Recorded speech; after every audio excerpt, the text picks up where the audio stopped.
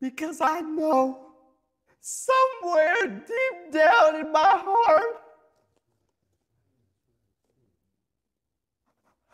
I still love you.